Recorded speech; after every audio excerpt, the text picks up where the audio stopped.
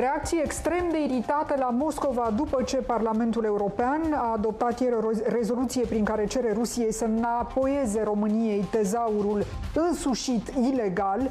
Astăzi, purtătorul de cuvânt al Ministerului Rus de Externe, Maria Zaharova, scrie pe Telegram că România, care cere să-i se restituie tezaurul, vrea să-și rezolve problemele economice pe seama Rusiei.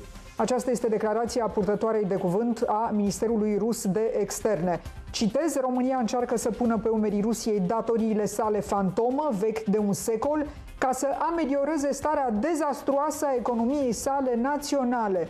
Zaharova susține că datoriile României față de Rusia și Uniunea Sovietică depășesc, potrivit calculelor experților, toată asta este un citat din purtătoarea de cuvânt a Ministerului Rus de Externe, subliniez. Datoriile României față de Rusia depășesc de 20-25 de ori valoarea întregului tezaur românesc ce fusese predat Rusiei spre păstrare între anii 1916-1917. În legătură telefonică directă este fostul ministru de externe, domnul Stitus Corlețean. Mulțumesc mult, domnule Corlețean, pentru intervenția dumneavoastră. Bună ziua, mulțumesc de invitație. Era previzibilă această reacție a Ministerului Rus de Externe?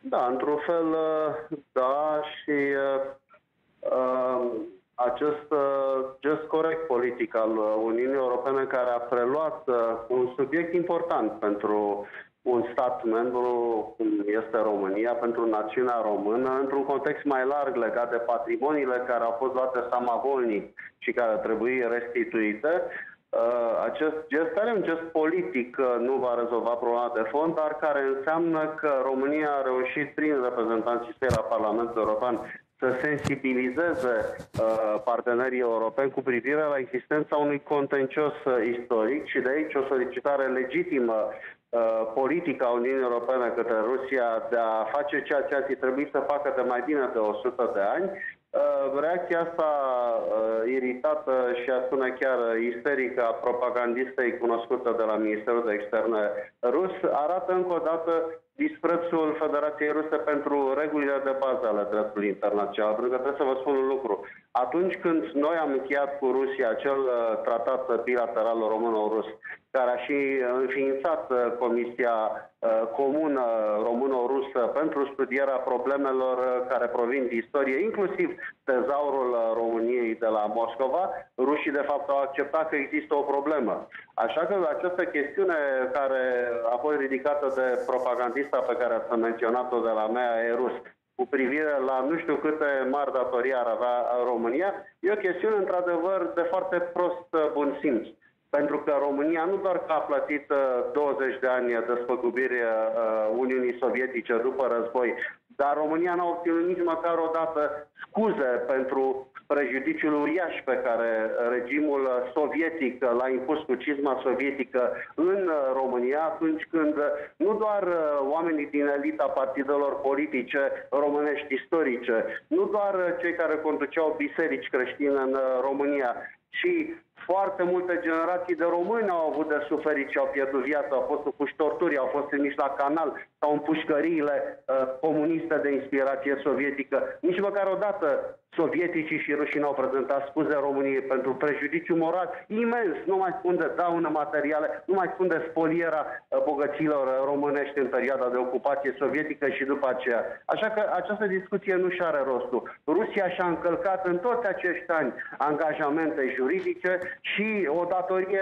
juridică, dar și morală de a restitui un patrimoniu care aparține națiunii române, așa cum ar fi trebuit să o facă. Uh, da, uh, este presărată de tot soiul de uh, referințe, ba la Hitler, ba la Ceaușescu. Citez, în loc să construiască relații constructive cu vecinii săi, Bucureștiul a început să agite situația din Moldova vecină. Astăzi, contrar voinței poporului moldovean, conduce de fapt la preluarea unui stat independent pe Nistru prin mâinile agenților săi din înaltele funcții de la Chișinău. România, un fost aliat al lui Hitler, se folosește de platforme rusofobe, cum ar fi Parlamentul European, care este pregătit pentru orice acțiune antirusească. Asta e parte din ceea ce numiți dumneavoastră delirul uh, Mariei Zaharova, purtătorul de cuvânt al Ministerului Rus de Externe. Domnule Corlețean, uh, va rămâne ofuscarea Rusiei la acest nivel? Rusia își joacă propriile sale interese foarte, foarte mari și atunci se folosește de tot felul de, de, de chestiuni, inclusiv cu uh, provocări la adresa Republicii Moldova, inclusiv cu retorica asta agresivă, cu folosirea uh-huh. de arsenal uh, nuclear. Rusia este în plin război de agresiune. Uh, Rusia este un agresor care potrivit dreptului internațional ar trebui să fie pedepsită foarte dur dacă am avea totuși pârghile juridice internaționale, începând cu liderii săi, cei care comit crime îngrozitoare în, în Ucraina. Comunitatea internațională uh, nu are alternativă și mă refer la regimurile democratice decât de a susține ceea ce înseamnă necesitatea de a restabili regulile în dreptul internațional, de a-i sancționa pe cei care au comis și comit crime de agresiune și omoară oameni vinovați. Cei care și-au încălcat propriile angajamente, nu doar uh, la summitul OSCE din 1999, când președintele Rusiei de atunci, Boris Yeltsin, s-a angajat să retragă trupele rusești de ocupație din Transnistria, dar faptul că și-au încălcat propriile angajamente din 1994 din memorandumul de la Budapesta, prin care au preluat arsenalul nuclear de pe teritoriul Ucrainei, în schimb garantând integritatea teritorială și frontierele Ucrainei. O bătaie de joc. Despre ce vorbim? Despre ce onorabilitatea propagandiștilor care vorbesc de la Moscova și dau alții, altora lecții. Sistemul occidental democratic care ar trebui să-și extindă relaționarea, comunicarea și cu alte zone geografice și cu alte state, trebuie să rămână ferm pe poziții și să nu cedeze în fața unui astfel de presiuni, astfel de încercare de șantaj. Acesta nu este un regim democratic. E greu să construiești o relație politică funcțională. Să... Noi am încercat. Și în 2013 eu am fost în vizită oficială la Moscova, încercând din partea uh, României și sistemului occidental cu un anumit mandat să încercăm să creionăm un tip de relație de, de dialog uh, politic dacă ai de-a face cu un astfel de regim care merge să câștige teritorii suverane al altora, să declanșeze războaie, să omoare oameni nevinovați, care e credibilitatea un astfel de regim? Ce poți să construiești cu un astfel de regim? Ar fi trebuit să fie un astfel de demers uh, referitor la tezaurul românesc făcut mai devreme în Parlamentul European, în opinia dumneavoastră? Uh, doamna Chiriac, acest uh, demers în Parlamentul European are un merit faptul că a reușit sensibilizarea la nivel internațional și european. Din nou, au mai fost și alte situații anterior, nu neapărat în Parlamentul European, la Consiliul Europei, la adunarea parlamentară și știu foarte bine acest lucru în alți ani, dar acest lucru uh, își are acest dar nu va rezolva problema alte uh, încercări în alte perioade s-au, s-au, s-au făcut. Canalul bilateral însă a fost cel care a fost încercat ani de zile cu bună credință de, de România. De asta am și fost la Moscova, între altele. De-aia am și obținut un cuvânt de onoare al ministrului de externe, Sergei Lavrov, să repornim funcționarea uh, Comisiei uh, Comune Româno-Ruse, uh, angajament care n-a fost onorat nici în perioada aia de pace care a mai urmat până la anexarea ilegală a Crimei. Dar asta nu înseamnă că România nu trebuie să o spună foarte clar propagandiștilor de la Moscova. România nu va renunța la această parte a patrimoniului național, de o valoare inestimabilă. Deci nu e vorba neapărat sau numai despre aur, e vorba de mult mai mult. Și mai devreme sau mai târziu, cu ajutorul lui Dumnezeu, vom găsi modalitățile să putem aduce în țară înapoi tezaurul României de la Moscova.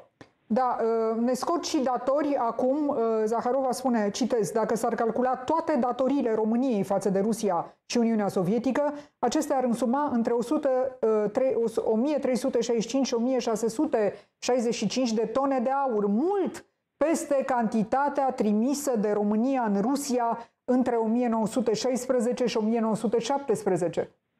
Asta e o modalitate penibilă de tip post-sovietic de a încerca să blocheze o anumită discuție care este absolut uh, legitimă. Eu am spus un lucru mai devreme regimul sovietic, pe lângă faptul că am plătit 20 de ani uh, despăgubiri uh, tovarășilor uh, sovietici ocupanți ai României, regimul sovietic a, provo- a provocat în România și în celelalte state centrale este europene aflate sub cizma sovietică daune imense, uriașe și mai ales a provocat suferință umană. Vreți să vă spun, fiecare familie de român, până la urmă, are propria sa experiență în familie. Vreți să vă spun din familia mea cum îmi povestea bunica pe vremea când încă mai spatele ea, cum femeile erau hăituite de soldatul sovietic eliberator în 1945, cum trebuiau să se ascundă, cum a făcut bunica mea cu copiii, cu mama mea, cu uh, frații și surorile mamei mele, sub pământ la 3 metri, ca să nu fie prinsă de soldații sovietici și abuzați. Despre ce vorbim? A fost o rușine această mare eliberare sovietică, a însemnat suferință, a însemnat spoliera averii și bogăților românești, a însemnat mutarea sau încercarea de a transforma națiunea română, așa cum eram noi, latini și creștini, într-un homo sovieticus.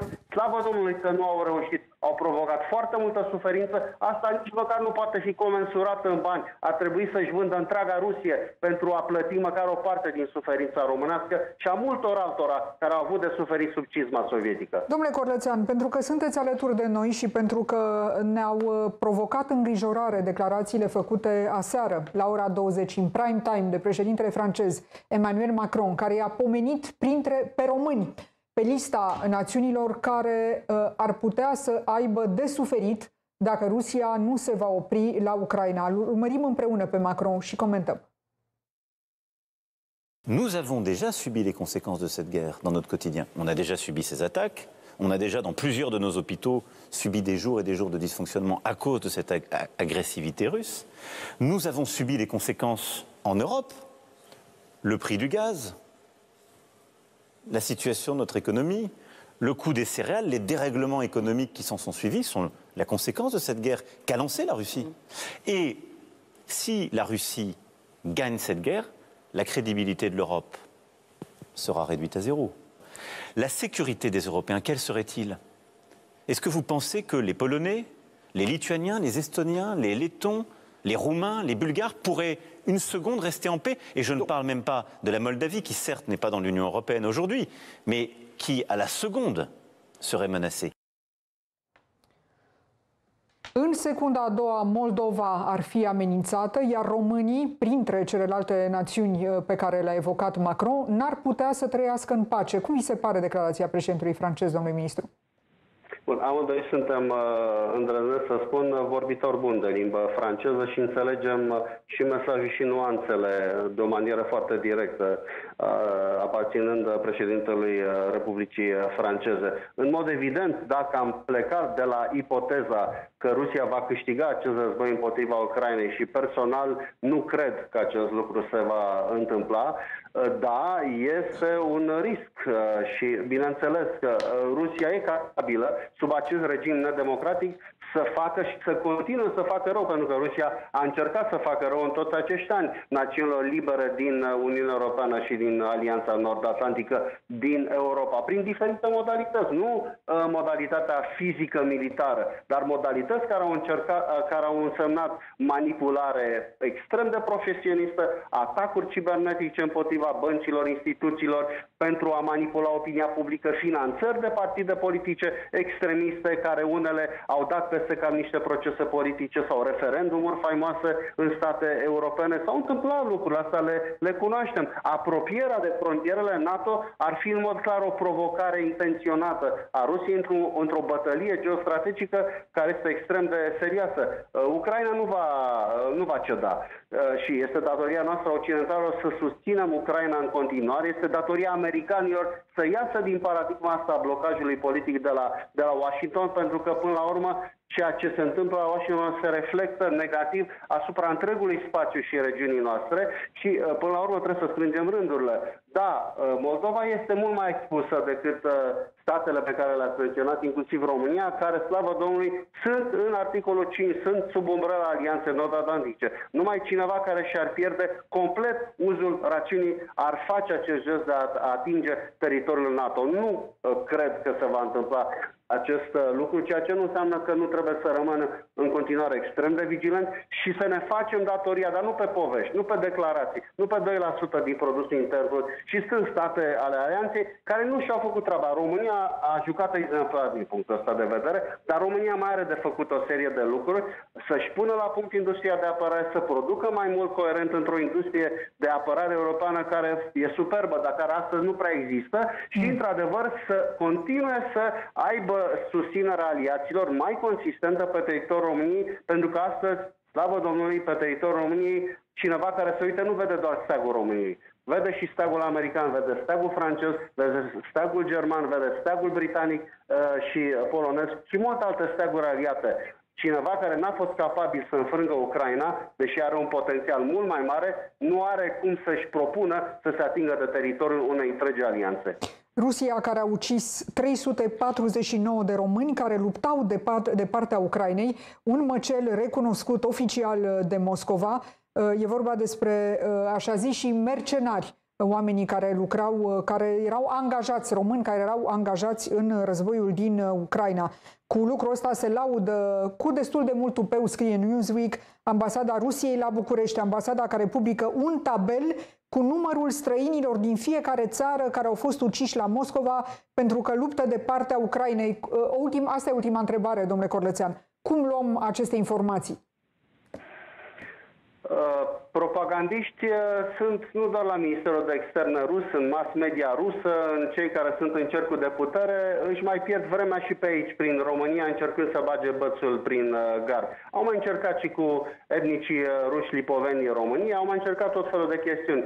Slavă Domnului că statul român este solid pe picioarele sale. Uh, lucrul asta se discută, le, le diseminează, încercând să intimideze, încercând să prezinte versiunea rusă. Noi trebuie să rămânem foarte tari pe picioarele noastre. Împreună cu partenerii occidentali să spunem foarte clar, un agresor nu are ce căuta în comunitatea internațională și va trebui mai devreme sau mai târziu sancționat de o curte de justiție care să pedepsească și să le tri- îi trimit acolo unde este locul pe cei care comit agresiuni agresiuni, crime împotriva umanității, crime de genocid, așa cum face regimul uh, uh, de la, de la Kremlin, inclusiv atunci când răpește copii, sunt 20.000 de copii etnici uh, din Ucraina care au fost răpiți, care au fost trimiși în tot felul de familii de încredințare, în familii de adopție, sau cei cu o vârstă de adolescentă fiind introduși în proceduri de insultaj militar. O rușine a umanității ceea ce face Moscova astăzi. Uh, vă reamintesc informațiile Rusia care se laudă că a ucis 349 de români în Ucraina, cifre care apar într-un tabel publicat de Ambasada Rusiei. Mulțumesc mult, domnule Titus Horlățean, pentru intervenția dumneavoastră. Ne întoarcem uh, la Moscova de la ora 14 fix, când vom discuta despre alegerile prezidențiale de duminică, pentru că Vladimir Putin are nevoie de toată această legitimare, vrea să mimeze democrația, are chiar și contracandidați. Totul pentru a se îndrepta către al cincelea mandat, dacă nu mă înșel, Vladimir Putin vrea să devină președinte al Rusiei pentru a cincea oară. Ne întoarcem în țară, alegeri, uh, sigur, alegeri uh, locale, sigur, candidați necunoscuți, că asta este rețeta în ultimele zile, și o informație nouă despre care vă vorbeam, numele rămase în cursă uh, la PSD pentru primăria capitalei. Două nume, medicul Cătălin Cârstoiu, și mai apare un nume, e vorba despre arhitectul Tiberiu Florescu, uh, președintele, uh, rectorul uh, um, facultății Ion Mincu din București, rectorul facultății de arhitectură, Gabriela Firea scoasă total din calcule. Îi mulțumesc domnului Daniel Fenechiu, este senator al PNL, ni se alătură într-o legătură telefonică directă. Bună ziua, domnule Fenechiu!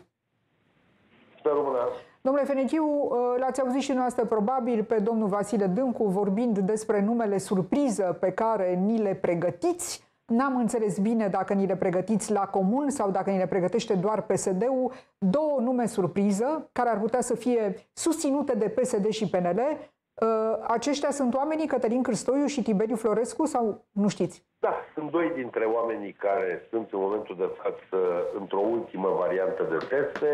Cel târziu, duminică sau luni, coaliția va lua o decizie.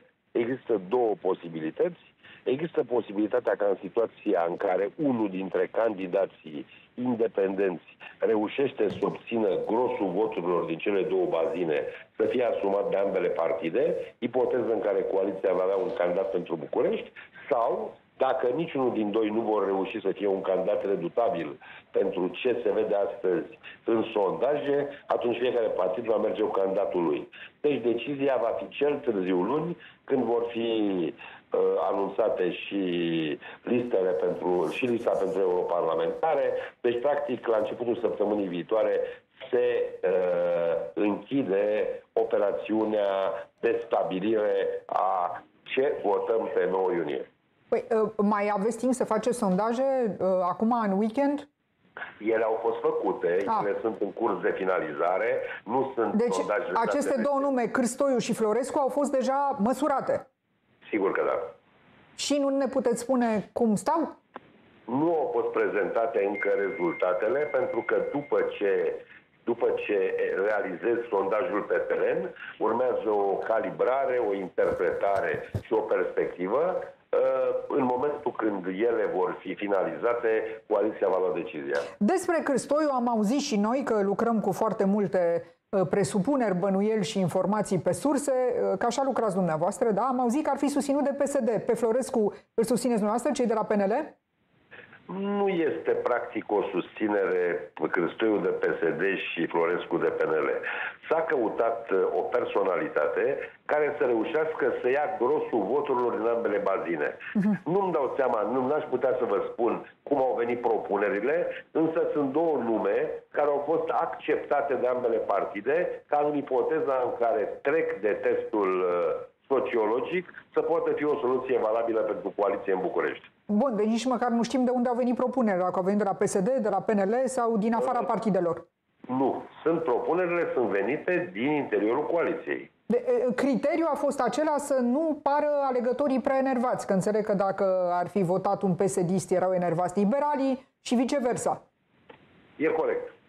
Da, acum, domnule Ferentiu, lămuriți-ne puțin, dacă puteți, care e situația la sectoare, că înțeleg că există o oarecare, un oarecare acord pentru trei sectoare din București sau pentru toate. Cum stați acolo?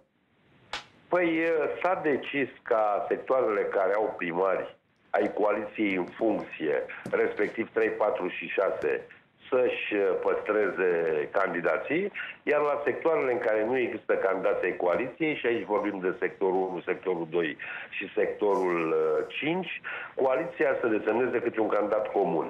Sectorul 1 ar urma să revină Partidul Național Liberal, sectorul 2 Partidului Social Democrat, iar sectorul 5 urmează să fie pe tiparul Bucureștiului o persoană care să culeagă votul din ambele bazine. La sectorul 1 mergeți cu domnul Burduja? Este varianta cea mai plauzibilă. Pentru că mai era în cursă un nume, un om care și anunțase candidatura sau, mă rog, declarațiile sale publice, domnul Tuță, da, rezulta că este, îl, dați, este, îl dați la o este, parte? Este, este în cursă și domnul Paul Tuță.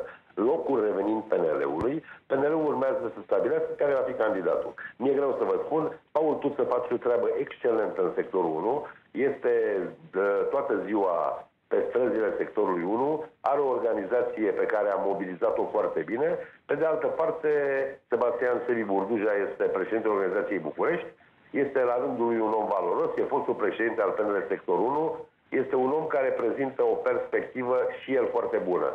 Mi-e greu să, nu știu datele statistice în momentul de față care reies din sondaje, probabil că sondajul va spune care din cei doi va, va candida. Bun, deci domnul Tuță așteaptă decizia partidului, înțelegem. Și domnul Burduja. Și domnul Burduja așteaptă, da.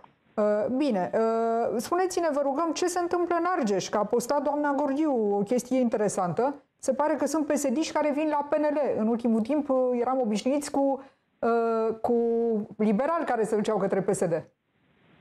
Bă, libertatea de asociere și de opțiune politică este garantată de Constituție. Există nemulțumiri nu doar într-un partid, există în toate partidele. Sunt oameni care în prag de alegeri vor să schimbe perspectiva politică. Este practic responsabilitatea fiecare organizație ca evaluând cererile de adeziune la un partid politic să le accepte sau nu, să le acorde încrederea pentru o funcție sau nu. Nu cunosc în detaliu situația de la Argeș. Doamna Gorgiu este un președinte puternic, este ministrul justiției, este un om cu experiență politică bogată și n-am nicio îndoială că doamna Gorgiu va lua toate acele decizii care vor fi în interesul Partidului Național Liberal. Păi nu zicea domnul, uh, domnul președinte Ciucă, citez, e calicie ce fac psd Ați început și noastră să aplicați rețeta transferurilor? Păi dacă dumneavoastră ați spus că sunt psd care bat la ușa PNL-ului. Din punctul ăsta S-au mutat vedere, câteva sute, nu că bata, s-au dus cu arme și bagaje, cum se spune. Uh, repet, uh, trăim o perioadă destul de tulbure. Este o luptă în plan național între suveranii și pro-europeni. Suntem pro-europeni. din punctul nostru de vedere, oricine împărtășește valorile democratice europene uh, este un asset pentru forțele care militează pentru o uh, continuitate în planul nostru european. Știm foarte bine că anumite partide, cum ar fi partidele care sunt catalogate într-un fel, care sunt uh, susținute, promovate, finanțate de Rusia, uh, sunt suveraniste și se opun Uniunii Europene și creează tot felul de probleme, iar într-o situație de genul ăsta, prioritatea este să ne continuăm parcursul european. Restul sunt detalii. Da, e adevărat. Nici pe suveran, nici nu prea am mai auzit în ultimul timp. Uh, probabil că sunt și ei într-o mică vacanță, dar vom vedea cu ce vor reveni. Mulțumesc mult, domnule Fenetiu, pentru intervenția dumneavoastră. Între timp, sindicatele din poliție anunță cel mai mare protest din ultimii ani din uh, România, uh, pentru că sunt nemulțumiți de salarii. Avem o legătură, telefon, avem o legătură directă cu domnul uh, Cosmin Andreica de la Europol. Bună ziua, domnule Andreica, mulțumesc pentru intervenție. Sper că ne auzim. Da. Ce înseamnă cel mai mare protest organizat în ultimii ani? Câți veți fi și ce agendă aveți? Da, urmează ca pe 25 martie, de ziua Poliției Române, am dat un ultimatum în situația în care premierul Ciolacu și vicepremierul Cătălin Predoiu nu vor onora promisiunea care deja a fost încălcată în sensul în care uh, încă din luna februarie trebuia să avem actele normative care uh, vizau cele două restanțe salariale, respectiv actualizarea salariului de grad și plata normei de hrană la nivelul uh, actualizat, pentru că în momentul de față vorbim despre norma de hrană plătită la nivelul anului 2018. Nu s-a întâmplat acest lucru. Vedem că au fost purtate negocieri cu alte categorii de bugetari uh, pentru creșteri salariale, în condițiile în care noi vorbim despre restanțe salariale. Și atunci, în aceste condiții, atâta vreme cât nu avem niciun fel de dialog și niciun fel de orizont de timp cu privire la emiterea actului normativ ce vizează cele două restanțe, uh, Sindicatul Europol împreună cu Sindicatul Național al Polițiștilor de Penitenciare Uh, vor organiza acest protest în 25 martie în fața Ministerului Afacerilor Interne, pentru că domnul Predoiu este responsabil de ministerele de resort din zona de apărare, ordine publică, siguranță națională și vom avea uh, între 4.000 și 5.000 de participanți la uh, această manifestație. Sigur, dacă până la uh, data de 25 martie vom avea acel act normativ, uh, evident că nu vom mai organiza protestul, dar este important să înțeleagă guvernanții că este absurd și este greu de înțeles pentru polițiști ca în timp ce noi ne numărăm restanțele pe care le avem din legea salarizării din 2017, ă, alte categorii de bugetari să primească majorări salariale. Da, ă, e, sună așa, ultimatum, adică dacă până pe 25 nu fac nimic, veți organiza acest mare uh, meeting. Dar v-au dat vreo dată până la care urmau să vă soluționeze revendicările salariale? Da, în 23 ianuarie, că nu degeaba i-am acuzat că sunt mincinoși. În 23 ianuarie, domnul premier Ciolacu a venit la sediul Ministerului Afacerilor Interne în prezența sindicatelor din, din uh, MAI a promis faptul că va acoperi cele două restanțe uh, printr-un act normativ uh, în luna februarie, urmând ca în luna martie, la salariul lunii martie, să vedem deja uh, plata pentru cele, pentru cele două restanțe. Acest lucru nu s-a întâmplat, nici n-am avut o comunicare din partea Uh, premierului sau vicepremierului pe acest subiect și atunci, uh, în aceste condiții, suntem nevoiți să reacționăm uh, la această, până la urmă, neonorare a promisiunii realizate. În perspectiva alegerilor, domnule Andreica, pentru că și dumneavoastră, ca și angajații din primării, ați anunțat că dacă nu vi se, reveni, nu, nu vi se pun în aplicare revendicările, veți face grevă chiar de alegeri. Mai aveți acest plan? Gândiți-vă că noi în momentul de față suntem în uh, următoarea situație. În 2024 urmează să fie elaborată noua lege a salarizării, în condițiile în care polițiștilor încă nu li s-a aplicat legea salarizării din 2017.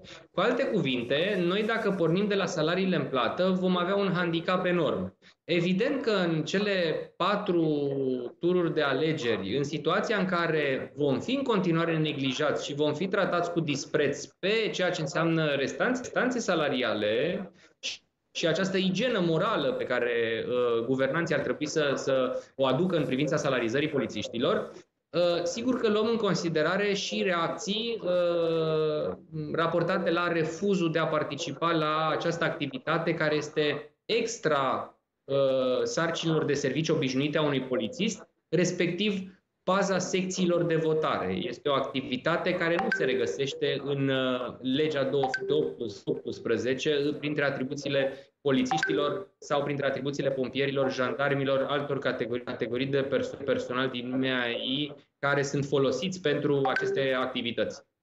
Mulțumesc foarte mult, domnule Andreica, pentru intervenția dumneavoastră. Facem o foarte scurtă pauză.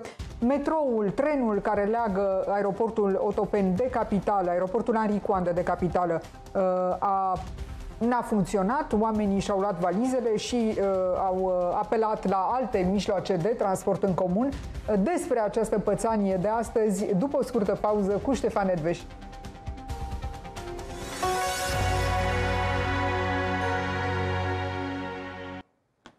Trenul uh, dinspre aeroportul Otopeni a rămas blocat în câmp, oameni cu valize care s-au dat jos, evident nu puteau să avanseze. Mai multe despre uh, această altă poveste minunată de pe căile ferate române ne spune Ștefan Edveș. Ștefan, te ascultăm. Deși eu, eu știu că tu nu ești în zonă, că acum ești pe podul de la Brăila, acolo unde uh, mm. fotografiezi șuruburile, să vedem dacă s-a scufundat sau nu.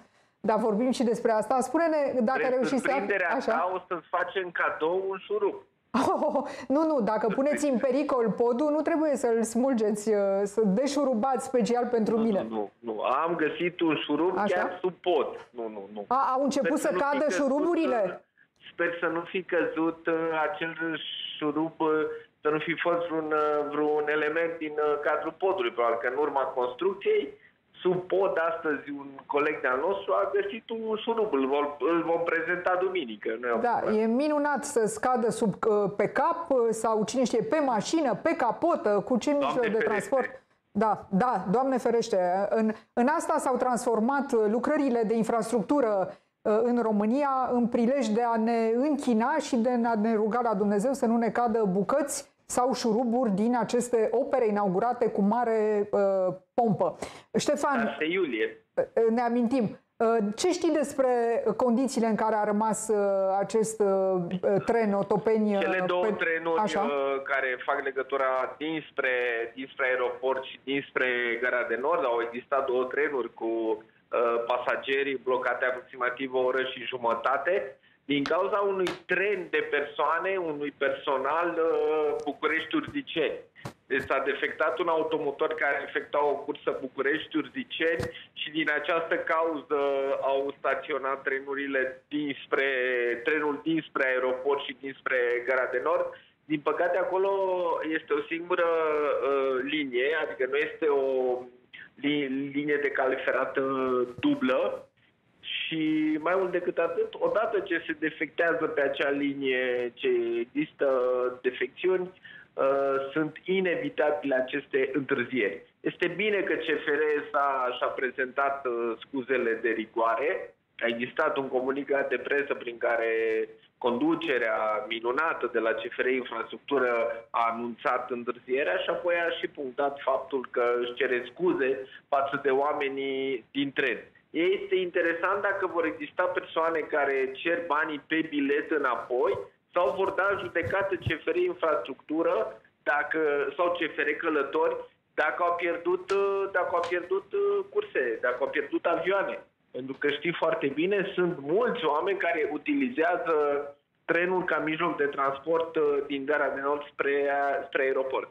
Da, și ne-am bucurat cu toții. Wow, ce bine, ce occidental, avem și noi tren de la aeroport către gara de nord, dar avem un tren care se oprește cu orele și nu mai pornește și oamenii Din păcate, sunt... acel tren a fost, știi bine, făcut pe repede înainte, aveam campionatul european de fotbal, dacă ți amintești. Da, noi totdeauna avem ceva, trebuie să, trebuie să tăiem o panglică rapid, trebuie yeah. să bifăm ca și la podul de la Brăila... Și-au gândit, uh, și-au gândit linia cu o singură... Au gândit linie neelectrificată, în primul uh-huh. rând, trebuie spus și acest lucru, că linia nu este, nu este electrificată și cu un uh, singur fir.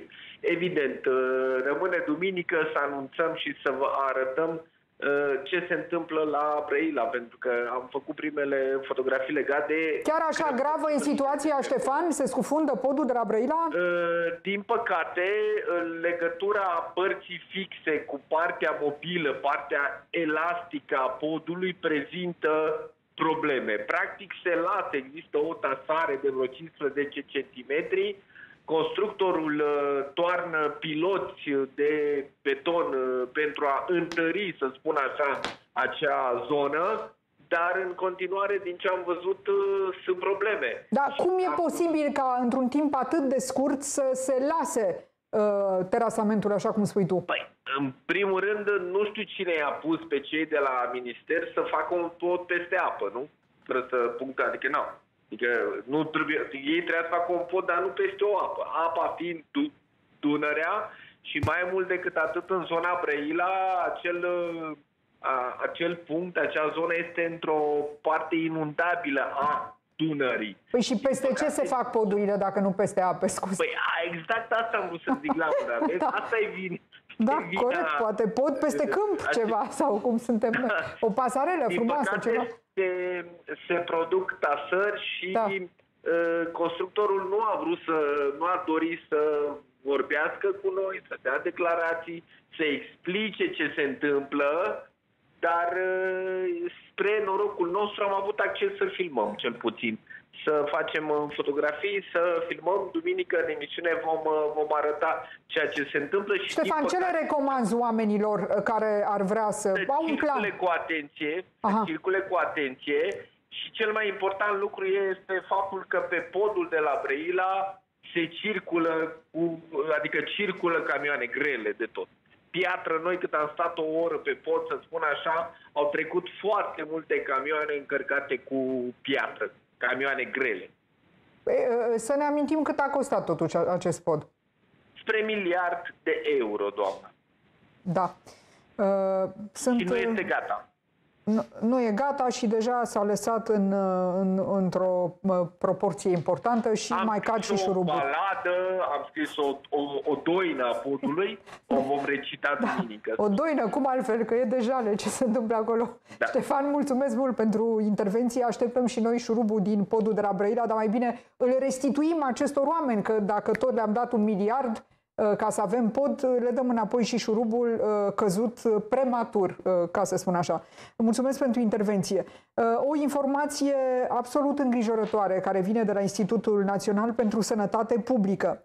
În momentul acesta, doar jumătate dintre copiii de un an din România au fost imunizați, adică au fost vaccinați. La asta a dus toată nebunia mișcării antivacciniste, Uh, epidemia de rujeolă tot din această cauză a fost posibilă pentru că nu sunt vaccinați uh, copiii, suntem în fruntea clasamentelor europene uh, în materie de număr mic al copiilor vaccinați.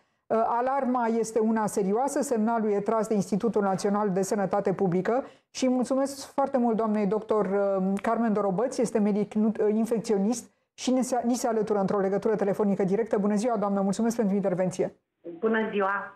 Uh, în cât timp vom vedea consecințele acestei situații dezastruoase, uh, mai puțin de jumătate dintre copiii de un an vaccinați în România? Um, se va vedea în timp, deja am simțit cum bine ați spus la rujeolă, uh, deja se simte în ceea ce privește rubeola, în ceea ce privește oreionul și în alte zone geografice ale globului am văzut că deja au apărut Uh, cazuri de poliomelită și difterie undeva în estul țării noastre. Uh, ca să spun așa, deci uh, faptul că nu este acoperită cu vaccin specific vis-a-vis de o anumită boală peste 70% din populație, cum s-a întâmplat în anii din urmă la noi în țară și am văzut, n-am avut rujeolă, n-am avut poliomelită încă și celelalte boli de care noi ne vaccinăm, Iată că aceste boli încep să apară în momentul când pragul de vaccinare per total populație și pe grupă de vârstă este sub 50%. Uh, doamna doctor, uh, dacă lucrurile stau așa în momentul acesta, ce soluții sunt pentru copiii care nu s-au vaccinat? Uh, pot recurge părinților la alte soluții sau vaccinul este vital și obligatoriu? Uh, vedeți, pentru că majoritatea bolilor, nu toate, dar majoritatea bolilor de care vorbim, sunt boli cu transmitere aerogenă pe calea aerului, deci foarte ușor de transmis. Uh, și ca urmare este foarte greu să ne ferim de astfel de boli. Uh, deci în momentul în care apare boala, trebuie să tratăm pacientul respectiv și mai mult decât atât aș putea spune, în momentul în care apare boala, putem să ne așteptăm la complicații. Iar gravitatea bolii vine nu numai din boala în sine, ci și din posibilitatea complicațiilor care există. Da, uh, pentru că vorbiți despre complicații, uh, e un caz uh, absolut oribil care ne atrage atenția și care a fost mediatizat în ultimul timp. Potrivit BBC, un bărbat din Statele Unite care suferea frecvent de migrene, a aflat că are ouă de tenie în creier. Uh, cel mai probabil cauza uh, acestei situații ar fi consumul de slănină gătită insuficient. Um, deci, uh, boala de care vorbiți reprezintă o parazitoză intestinală. De regulă, cauzele parazitozei intestinale uh, sunt legate de un uh, deficit de igienă, în special când în jur putem avea și ceva animale de companie față de care nu avem grijă să le vaccinăm sau să le deparazităm din anumite puncte de vedere. Într-adevăr, există parazitoze care, netratate la timp, pot duce la afectări la nivelul creierului, la nivelul cordului, uh, deci uh, și aici uh, trebuie să fim atenți dacă este vorba despre copii care prezintă astfel de semne. De regulă copiii prezintă fie reacții de tip alergic când au parazitoze, fie reacții de tip conjunctival, îi mănâncă ochișorii, fie fenomene digestive. Ar fi ideal să mergem să facem un examen specific coproparazitologic să verificăm acest lucru. Mulțumesc foarte mult, doamna Dorobăț, pentru intervenția dumneavoastră. Uh, o informație publicată de BBC, așadar, un bărbat din Statele Unite care se plângea de migrene frecvente uh, a descoperit că are ouă de tenie în creier, probabil legate de consumul de șuncă insuficient gătită. Uh, sunt informații care reprezintă și pentru medici cazuri curioase și rare, Uh, și e motivul pentru care uh, discutăm despre asta. Scurtă pauză. Ne întoarcem de la ora 14 la această zi importantă care va avea loc duminică la Moscova. Importantă nu pentru că nu s-ar cunoaște deznodământul ei. Vladimir Putin candidează la propria sa succesiune, deci va fi din nou ales președinte al Rusiei pentru a cincea oară. Uh, ceea ce este important la Moscova este mișcarea care s-a coagulat după moartea lui Alexei Navalny Uh, există un apel ca cei care uh, l-au plâns și au deplâns moartea lui Navalny să iasă la vot la amiază. De ce? Ce se poate întâmpla la Moscova și cine sunt contracandidații de paie al lui Putin pentru că dictatorul vrea să imite democrația și și-a scos din pălărie niște contracandidați Discutăm despre toate. De la ora 14 uh, ni se va alătura fostul ministru al apărării din Republica Moldova, uh, Anatol Șalaru, și analistul de politică externă, Andi Lezescu.